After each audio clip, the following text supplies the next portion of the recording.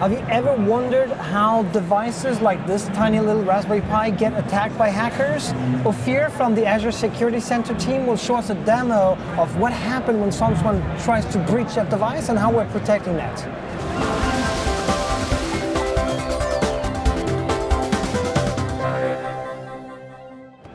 This is the IoT show. We are on the road at Ignite 2019 and I'm here with Ofir from the Azure Security Center team and we'll talk security with IoT. Ofir, thanks for joining the IoT show today. Sure, sure. I'm really happy to be here. So Ofir, tell us about yourself and what your team is doing at Microsoft. Okay, so I'm Ofir. I'm leading the detection team in Okay. Azure IoT security. So actually we're focused on IoT security. Okay. I have a talented team of uh, security researchers and developers. Okay. And we're building uh, the security around the IoT of Okay. Azure.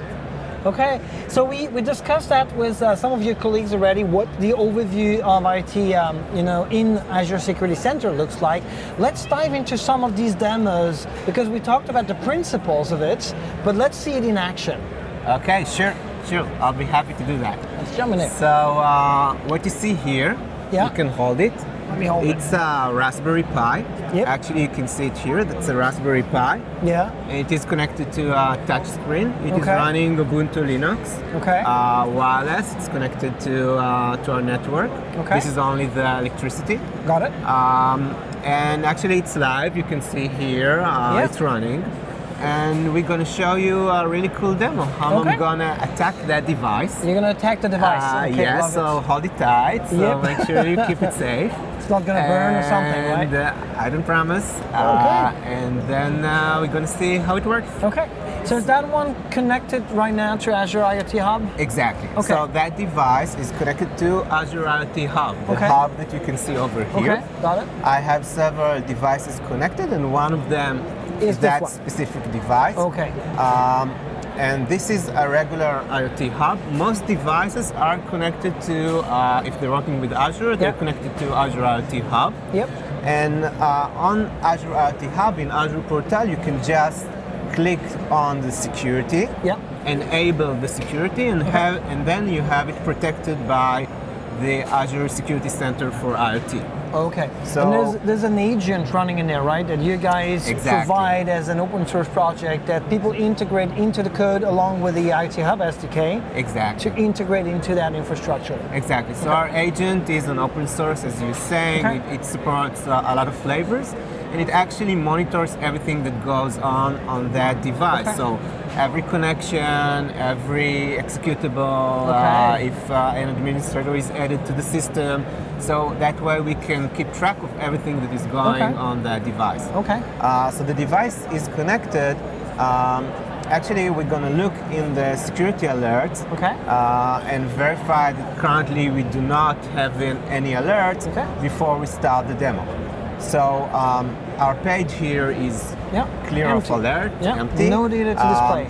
there are some recommendations, Okay. and this is something we, we are going to talk about at the end of the demo. Okay. Our recommendations are a way to tell you how to improve the security. Okay. But we'll get back to that. So um, actually what I'm, I'll do now is I'm running a Linux machine on Okay. my computer. Okay. And I'm going to try uh, and connect from my computer to the um, IoT that you're now holding. Okay.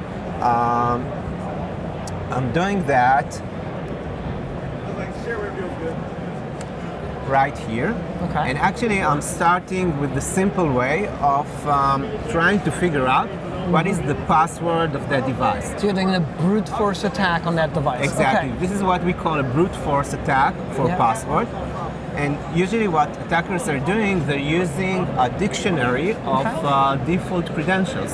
Okay. Those are the, actually the credentials that a lot of devices come out of the factory Yeah. with. Root password and these kind of things. Exactly. Okay. So, for example, Mirai was an uh, was a famous IoT attack Yeah. that a few years ago uh, caused a, a massive DDoS attack.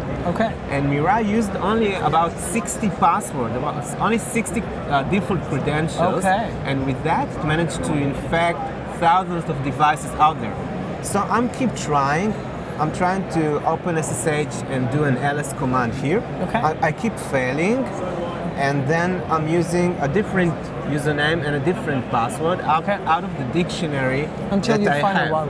Okay. Until I will find one.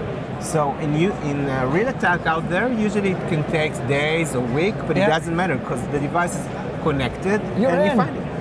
And Okay. right, we're in. So we managed to find the password, and uh, actually, that's the ls command that uh, Okay. that we uh, invoked. Okay. You can see now that I also Oh, the device. I like on the screen itself. Okay, so you so basically uh, attack the device visually as I'm well. showing you that I'm actually controlling the device without Okay. touching it. Okay? Okay. it was in your hands all the time. Okay. So this is our first phase. Usually Okay. that's how an IoT attack starts. We Okay. did that very very quick, but Yeah. in real life scenario it can take it, it can take up to weeks, um, and then you find the password. Now Mm-hmm. This is the part when you need to move fast. Once Okay. the attacker has the password, it has a short window Okay. until that device might be disconnected, the password will be changed, it will be updated, Yeah, yeah. and stuff like that. So now is the part when you need to infect the device, run my software on the device. Yes. But I cannot put my software here. Yeah. Yeah. So the trick that we usually do is telling the device, go ahead and download a text file Yeah. from my website. Okay. That text file is actually a script. Yeah. So here I go. I'm downloading the text file, Okay. which is the second payload. Okay. And I'm, I'm, I'm turning it into an executable and just running it on the device. Mm-hmm. Okay. And now the device is actually infected. It is infected because it's running my code now. Got it. And not uh, the code that it was manufactured with. Okay. Okay, so the third part is actually um, connecting the device to what we call a command and control server. Okay. In short, it's CNC. Once I have um, connected it to a command and control server, I can actually disconnect from the network. Okay. I don't need to be near the device because currently they are running on the same network. But once Oh. it is connected to my command and control server, it will actually go ahead and ask me if I have a command for it, for it to run. Mm. So now you have full control so over now I have full control, Yes. and I can do whatever I want. Yeah. Um, we wrote a very simple command and control server, Yeah. just asking the device to run a crypto miner um, on Got the it. on the device. Yeah, and now yeah. actually I'm making money out of your device. Okay. You're paying for the electricity, and I'm getting Got the it. coins. Okay, so, uh, So we're in a bad place here. Okay. So yeah, that's how usually an attack Attacks. script uh, Okay. are happening. Some of the additional stuff that we did here, we created our own user, Okay. a privileged user. Okay. So actually, now I can connect whenever I want. I can Yes. remove It's the, original. The, backdoor. I have you- a backdoor. I can remove yeah. the original administrator, so he Yes. cannot connect anymore. And Okay. now it will be much harder for him to remediate. He will have to physically connect into the device in order to do that. Okay. Um, I'm cleaning some of the log files, so it will be much harder to understand where did I come from, etc., etc. Okay. So Mm. This is another thing that attackers usually do.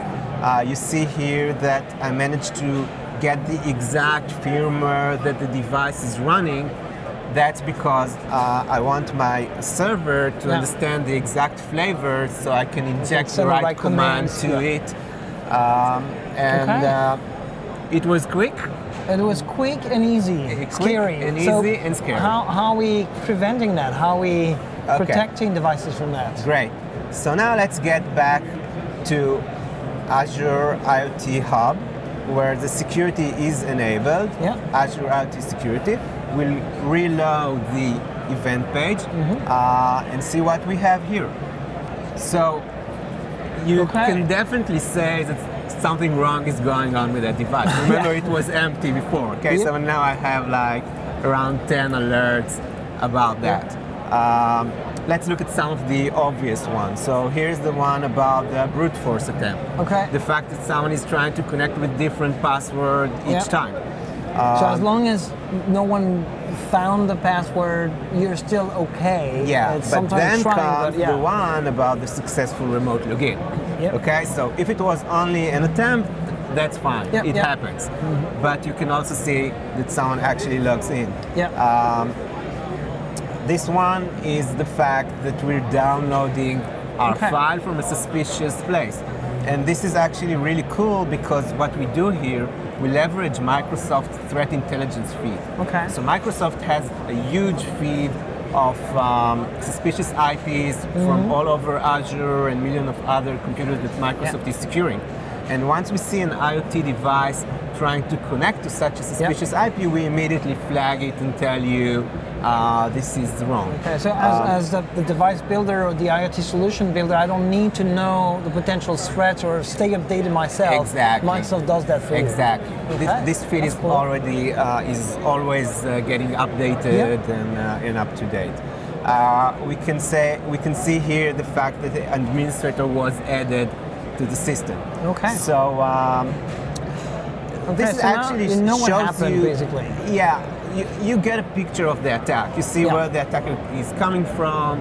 Uh, you, you can see what he tried to did or did on Yeah. the device. Yeah. You can get addition, additional details when you drill in, and you can actually send this over to your SIEM or any, or Yeah. any other system like, that you're hey, using. disconnect that little guy because it's actually corrupting my old system. Exactly, Okay, exactly. yeah. So, so you can manage that the way you manage the rest of your IT Okay. uh, IT environment. Cool. But let's get back to the recommendation that Yeah, because we you want to mentioned prevent before. that at the end of the day, right? Exactly.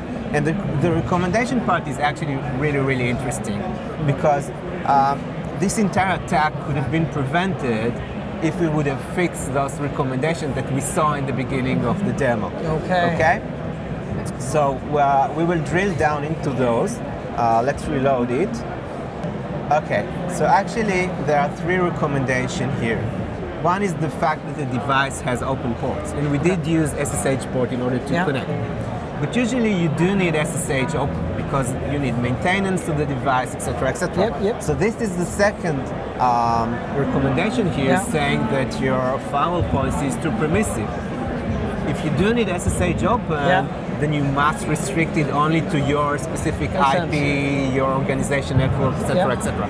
Otherwise, if you keep it wide, you're exposed to, to the attacks, the ones that we see Makes here. And the third one is actually saying that the OS of this device is not up to date.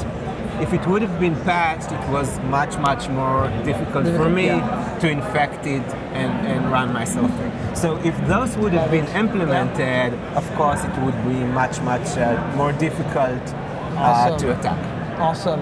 And uh, my understanding is there's, also a way to create custom alerts, right? So you can also enrich the whole application uh, based on the agent to add more alerts based on your own, you know, solution and type of device and so exactly. forth, right? Exactly. So um, first of all, we, we're, we're trying to bring you value out of the box. Yeah. So um, uh, we, we do the intelligence feed and we manage to detect uh, brute force Yeah. attacks and, and things like that.